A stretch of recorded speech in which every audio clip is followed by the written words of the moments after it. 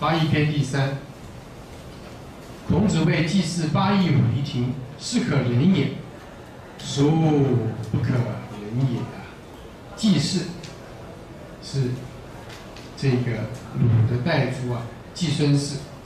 现在大家都习惯念大夫了，习惯以前都念大夫，字典上面都写大夫，老一辈的都是念大夫，不过这个字是通的，没有太大的关系。鲁大夫，可能两读都可以的啊，那这个字通啊，鲁大夫，季孙氏，八义啊，一亿八人啊，天子八亿六十四人，啊，诸侯六义。大夫四亿四二亿，啊，就是二四六再乘八，八亿五一听，是可忍也，孰不可忍也？有两种解释，一个说，这个事情我们能够容忍他的话，什么事情不能容忍呢？就是说，孔子不满于啊，鲁君不能制裁祭祀的这个僭越。怎么可以容忍他这么做呢？另外一个说忍心，说你祭祀啊，连八义这种武，这明明是天子武，你都敢于去武于庭，这样你什么事情啊，你不忍心去做呢？啊，那么前先生说这一章跟下一章啊。都是批评鲁的三家的僭越，啊，所以应当是指这个祭祀的，怎么可以这么忍心？所以说是当从后解，啊，嗯，这个《四书集注》也是这个讲法，啊，就是说你连这种僭越的事情都忍心而为之的话，你有什么事情？是你不敢做的呢？那么八义这一篇呢，都是论礼乐之事。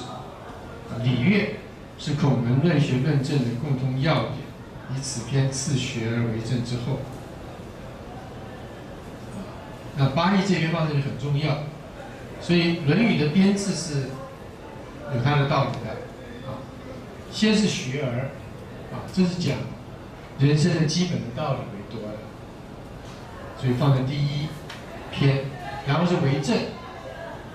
儒家是很看重政治，政治是大群之事，啊，对于整个的政治社会的秩序，但他的政治是广义的政治，不是我们现在狭义的那种 politics，啊，是比较这个实际上比较也接近西方古典，啊，当然当然不仅是西方古典那种就是。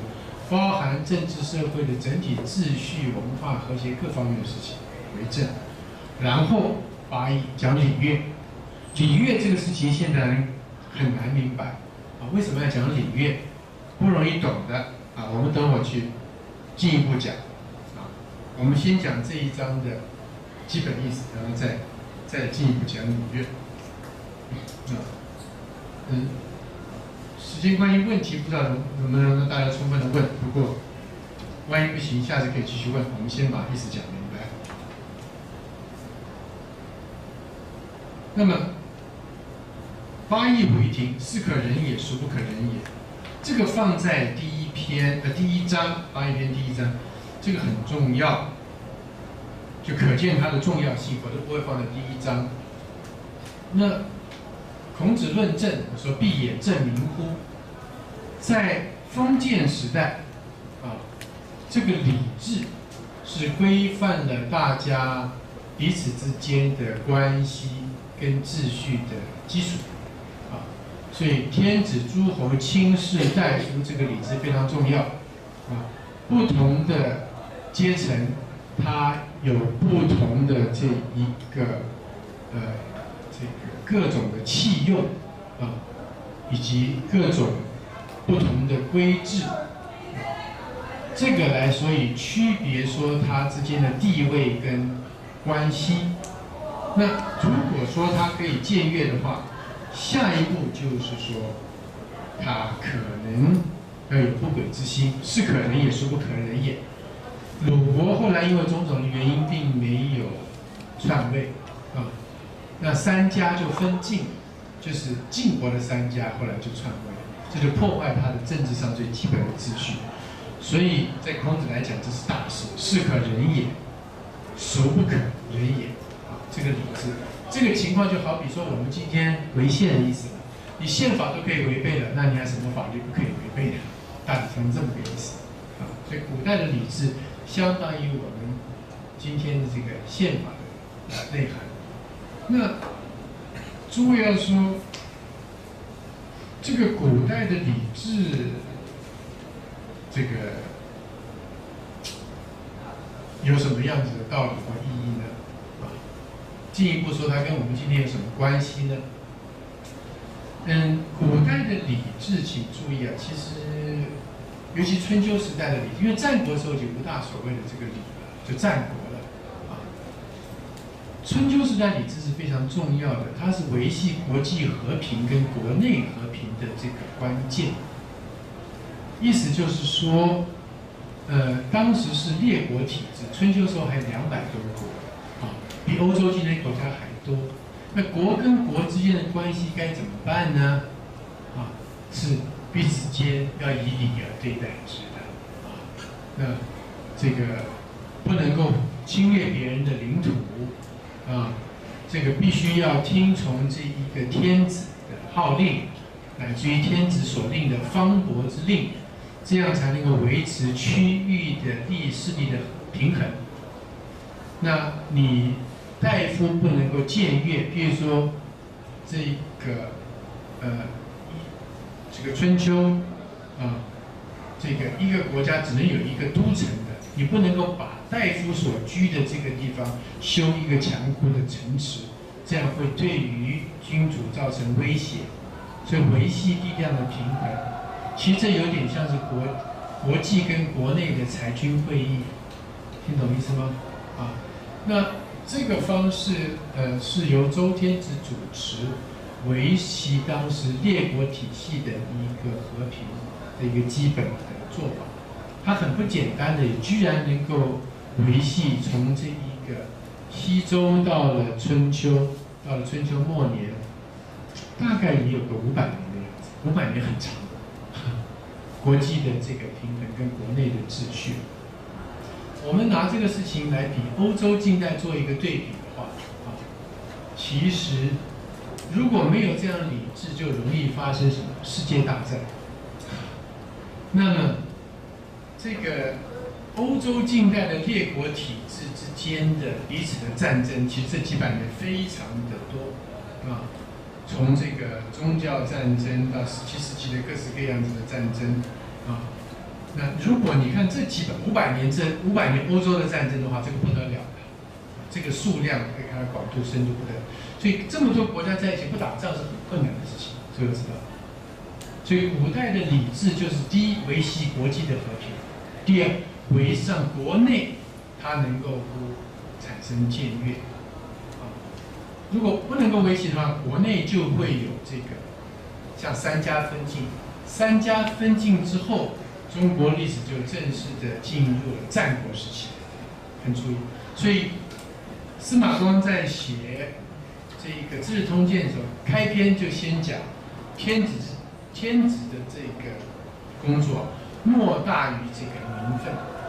这个名分一旦破坏之后，国际平衡。就破坏国内平衡也，破坏每一个人都希望扩张自己的力量，每一个大夫、每个国家都希望扩张之后，就进入了战国时期，打了个天昏地暗，彼此互相的快速的兼并，到最后当然就产生了情定义，所以不能小看礼制在古代的价值跟意义。当然它有它的限制，我并不是说那我们今天。就能够照搬，不这么简单讲啊！这这讲起历史很复杂，只是在当时来讲，这个礼是有它的重要性。礼必配乐啊，这个规定你有这样子的祭典、祭祀的时候，你就有这样子的乐啊，礼乐是合在一起。啊，而礼跟乐能够合在一起，八一是五仪琴啊，它配乐。这其实是非常了不起的一个发明，就是古代的政治里头，它这个音乐这个事情跟舞蹈这个事情是非常重要的，音乐跟舞蹈非常重要。这个事情大家觉得奇不奇怪啊？刚刚讲礼，你们诸位可以约约的人，音乐舞蹈上这个事情其实非常奇怪的。古代的太学是由这一个大乐官啊所所谓乐正啊乐正他来这个主导这个事情，不知道跟柏拉图所讲的那一个所谓年轻人最好的教育什么？开始讲音乐，它有点类似性。古人懂得这一点，因为音乐直接可以陶铸人的性情。音乐入人心最深，在佛教来讲，观世音不是呃，因为声音入人的心心魂是最深的。古人重乐有它的缘故啊，然后古乐是非常的典雅，八佾舞的是所谓雅乐，呃，今天中国大概仅存的雅乐舞啊，还看得到。这个孔庙，我们可以去参观雅乐舞。韩国还有有雅乐舞，那个舞起来是非常的呃庄重啊，然后这个动作是非常的缓而这个肃穆，然后身体的动作呢是。要从一个很安静的内在、很肃穆的内在呢，不能够轻易的肢体的动作，要配合那个音乐做全身的一种慢慢的随着呼吸的养足之间的一个作为。那有一个中呃文化大学的教授，还特别到韩国取雅乐舞的经回来，变成了一个。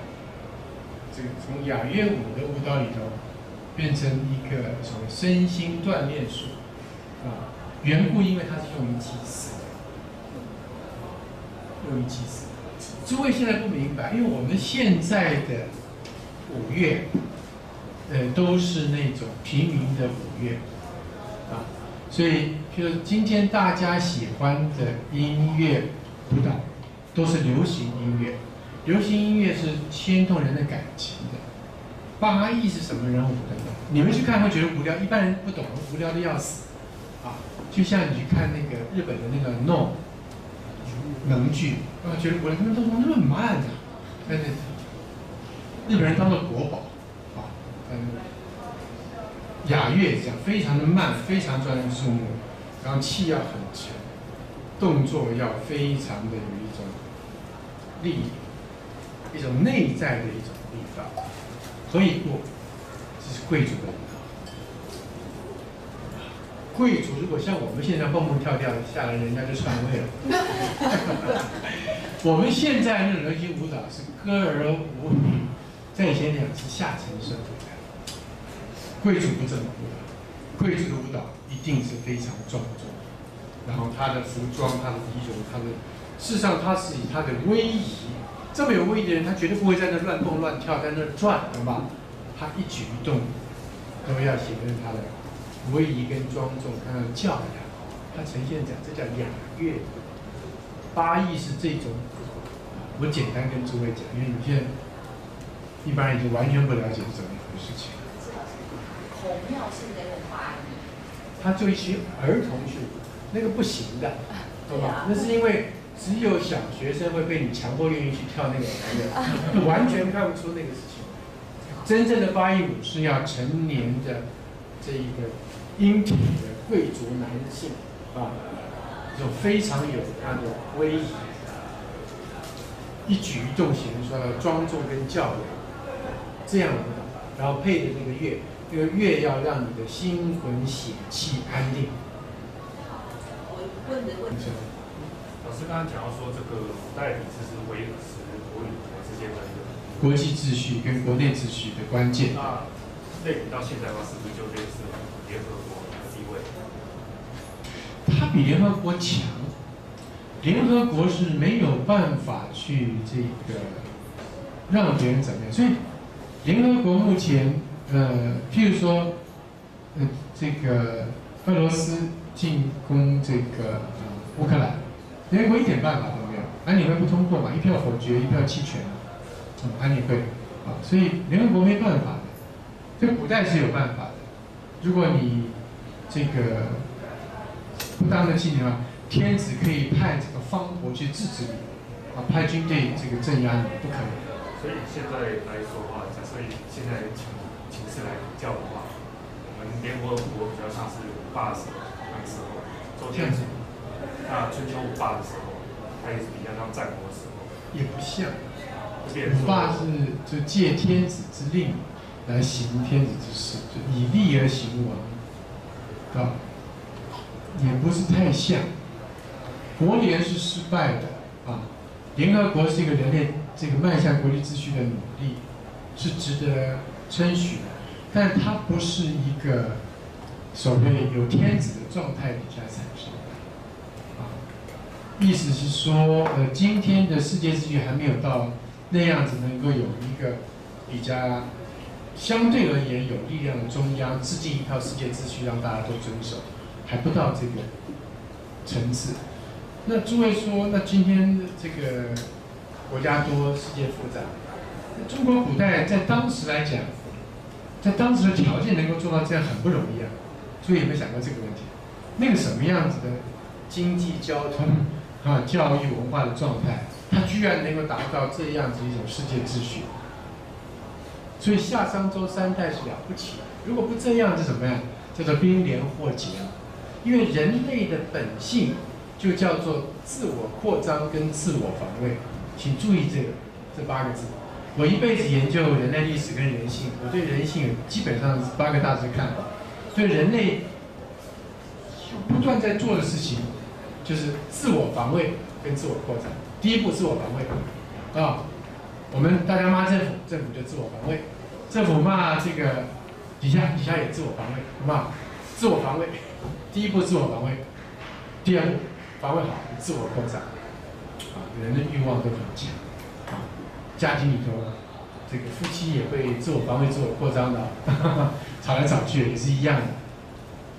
所以，以自我防卫跟自我扩张作为人这个这样子，在人性的基本运作状态底下，如果没有一套理智的话，会很乱。那中国传统靠理智。西方靠法，这个什么缘故啊？这个讲起来很复杂，这个不是三言两语。不过简单的说，是因为中国的整个体制是从家族的扩大，这个尤其比较清楚，像这个周代就很清楚，它是一种宗族家族式体制的不断的扩大，所以它的核心是一种宗族伦理。一个家族跟宗族里里头没有办法讲法。你只能讲理，我用法，父母用法律来制裁子女，没法这么做，对吧？族长用法律来制裁这个族人，不能这么做，只能用礼，所以它是这个的扩大，啊，然后家族跟家族的连结，也比照家族的关系，啊，周代，很多地方的大家族一层一层连接下去，什么地方的力量，再从地方的意再跟中央连接，它是。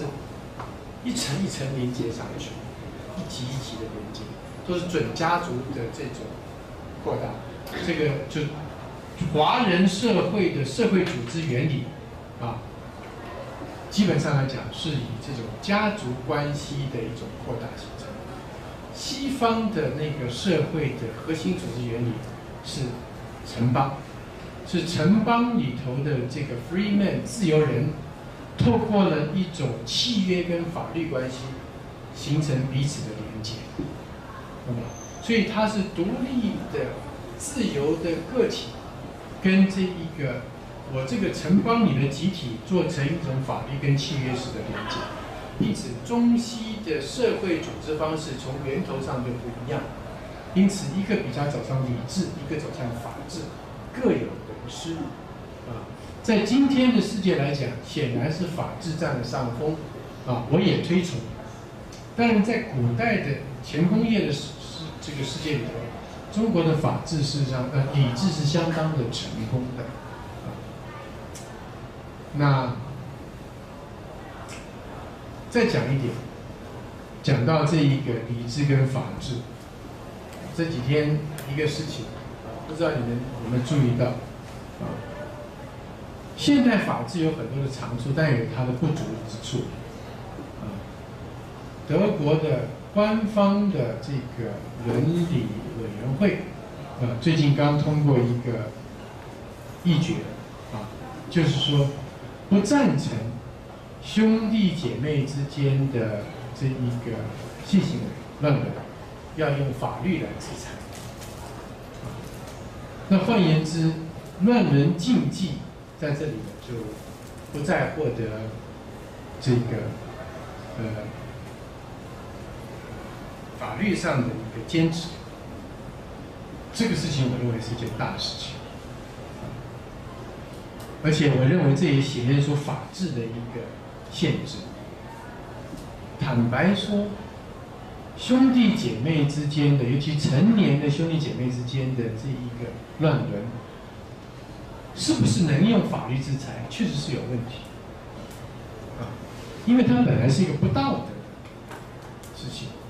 啊，但在某些特殊情况底下，或者某些特别状况下，如果他让感觉一定要用法律制裁他，西方人考虑这个，你就发现他没有办法说我用足够的必然的理由说我一定要用法律制裁这种行为，所以干脆法律就不管。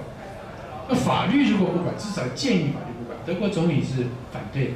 那法，但问题是在一个法治的社会，如果法律不管的话，啊，除罪化了，那换言之就是可以接受。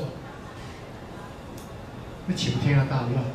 诸位知道，性欲是人类最强烈的欲望，啊，这个如果没有乱伦禁忌在那里管住的话，人类会很乱。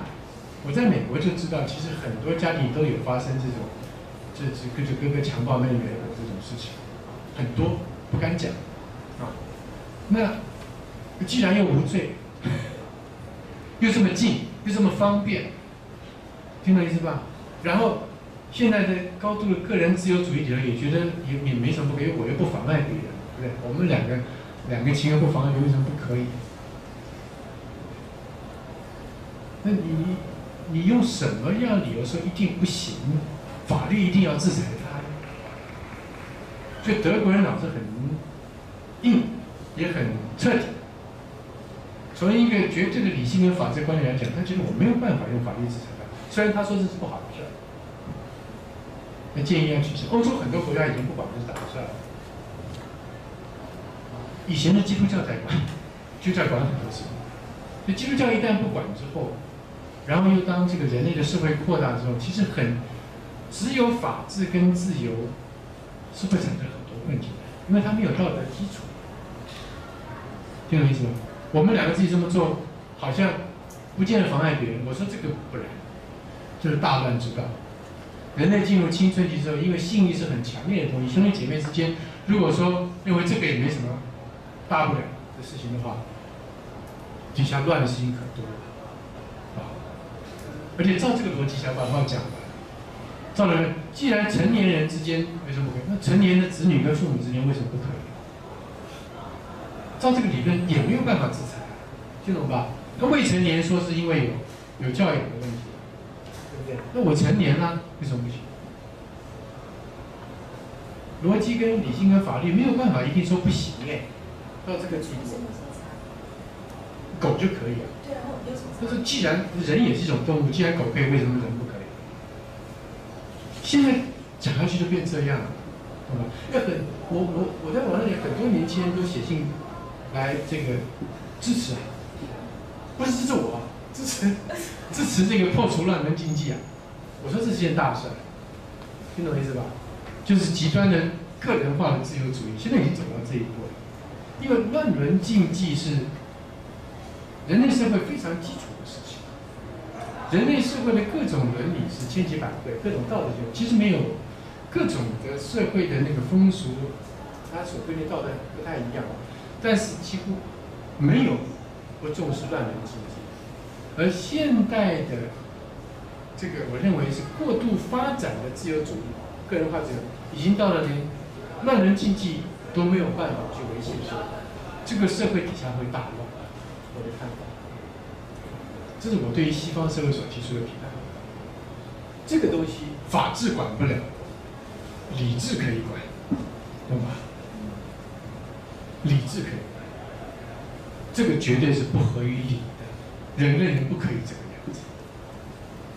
我不愿意所以一定法，因为他举出很多极端的案例，比如说，呃，有一对什么，那有一个美国有这样的情况，一个母亲啊，她到处 sleep around 啊，然后生了一堆孩子，这些孩子也不知道谁是父亲，那于是后来有一对兄妹就结婚了，结婚之后才发现我们是兄妹，那法律上是不是说这个婚姻一定不合法？是不是要制裁这对兄妹？好像也是，他也很倒霉嘛，对不对？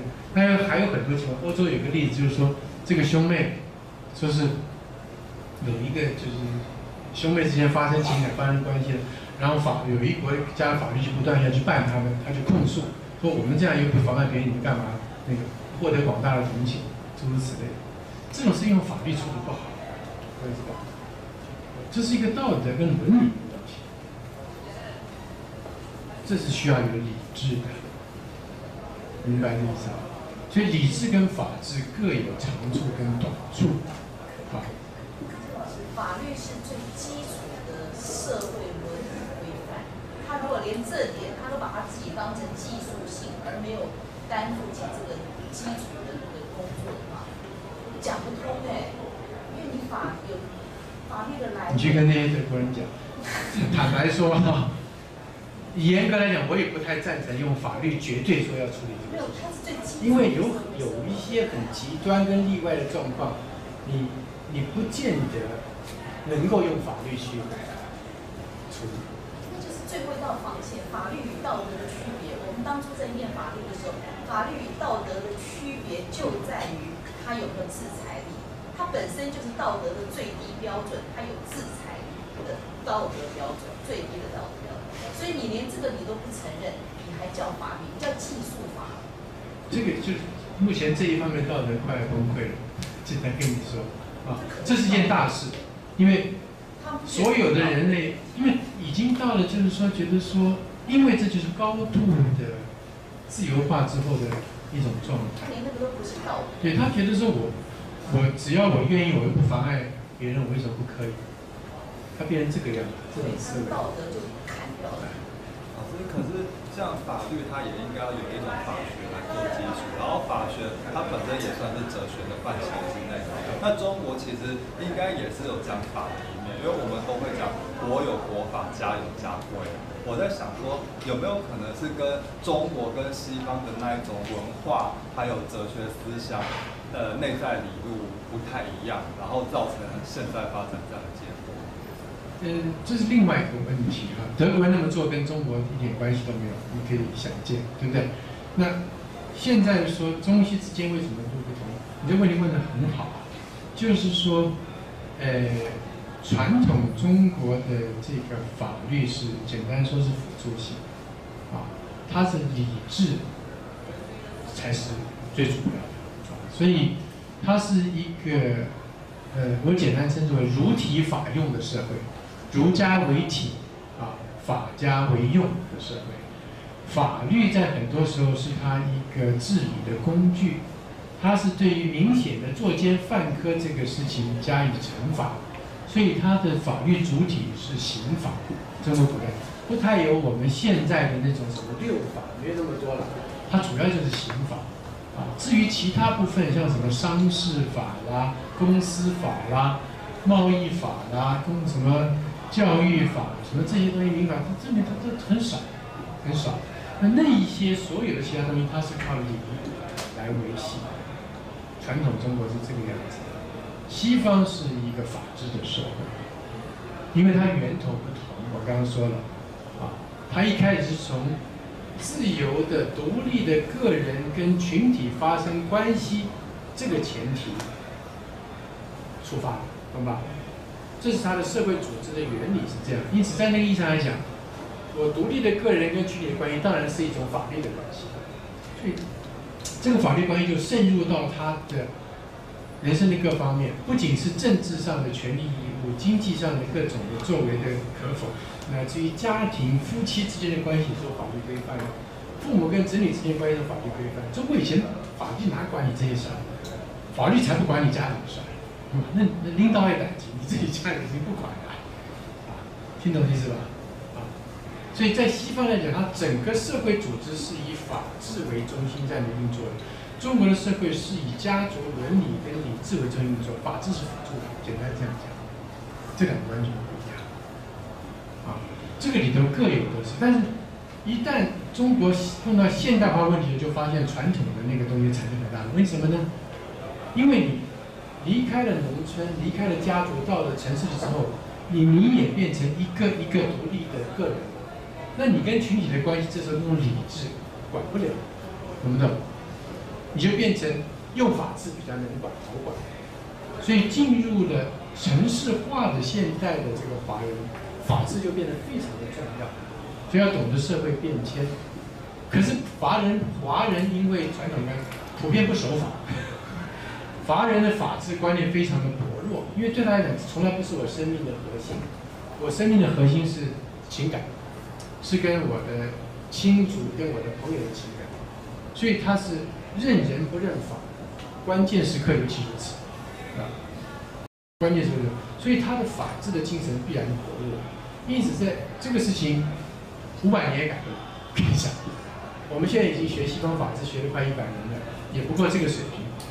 华人的手法，我坦白跟你讲，我在美国、欧洲、台湾、大陆啊，都都这样跑，差远啊！跟你说讲，我们的手法跟西方人手法不差哪去啊？